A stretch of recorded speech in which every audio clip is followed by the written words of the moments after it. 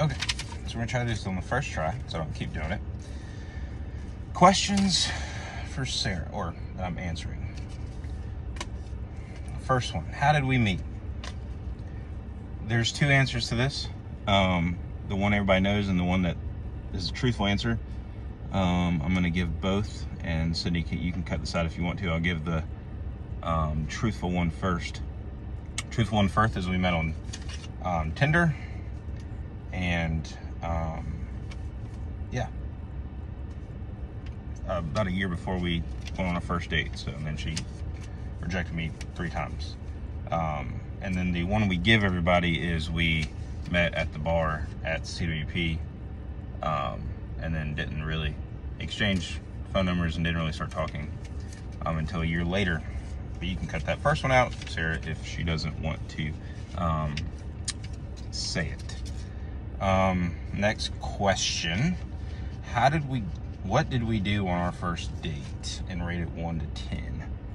Um, our first date consisted of going to Riverwalk, um, sitting on a bench for about two hours, which it wasn't supposed to be two hours, but ended up being two hours. And I would say that was a 10 out of 10 first date. I don't think you could have got any better. Um, kind of set our relationship up to what it is today. Um, this one, what do I do that annoys Sarah? There's a lot of things I do that annoys Sarah. Um, a lot. Um, but I would say the biggest thing, the biggest pet, pet peeve, um, or the not the pet peeve, that's a different question. The biggest thing that annoys her is when I lay socks in places socks shouldn't be, specifically um, dirty socks. She cannot stand that. Um, so yeah, anywhere but the hamper where they're supposed to be, she flips out. Um, and I hope that's her question because I can't think of another one, even there's probably a lot. Who's a better dog parent to Bailey? I was the first dog parent to Bailey. I picked her out. Um, Bailey is definitely a daddy's girl, um, through and through. She loves her mama, but she's definitely a daddy's girl. Um, I would say there's two kind of parts to this question. I'm better at disciplining Bailey. She listens to me better. Um, she clearly knows that, you know, who lays down the law. Um, and Sarah's definitely better at um, being a nurturing parent and being there for Bailey after she gets in trouble. Bailey knows exactly who to run to um, when she gets in trouble. Um, favorite thing that we do together um, favorite thing to do together. Um, I would say that our favorite thing to do together is probably um, go on walks together. Um, just kind of, you know, sit and enjoy each other's company. Um, just being together is probably our favorite thing to do together. Um, going on drives, um, stuff like that her biggest pet peeve, I would say her, this one's kind of a hard one. In my opinion, she may answer it pretty easily. Um, but I would say one of her biggest pet peeves doesn't necessarily revolve around me. Um,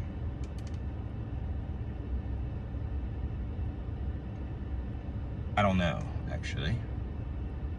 What bothers Sarah?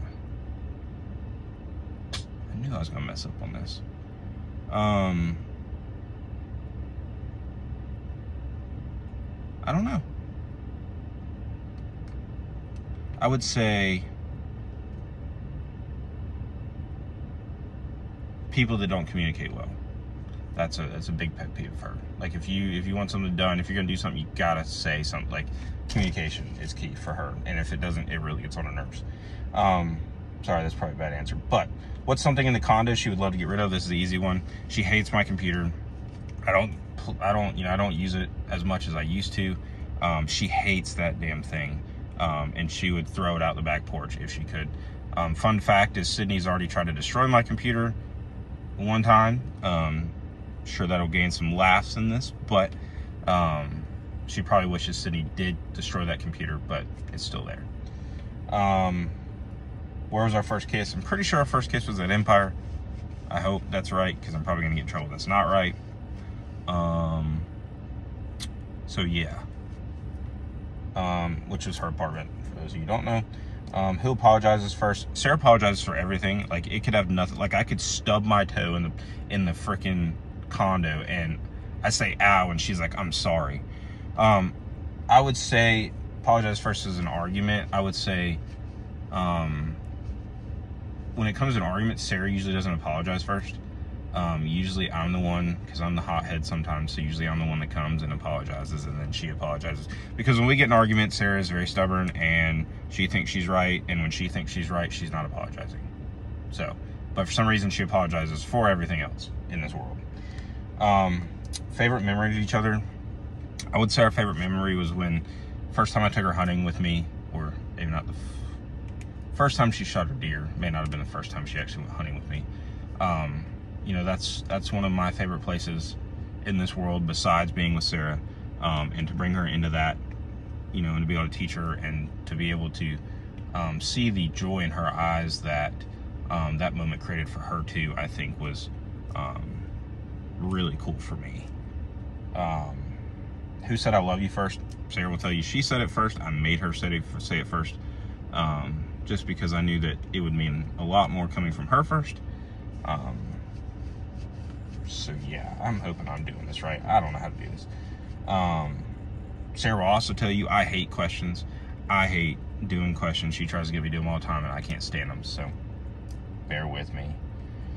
Who wears the pants in a relationship? Sarah will probably take negative five seconds to answer this question and say, I do. She's stubborn. She likes to get her way, but she, at the end of the day, knows who wears the blue jeans in the family like I'm wearing right now.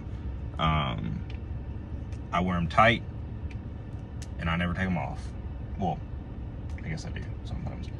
Um, I told you I suck at this. Um, favorite quality about Sarah.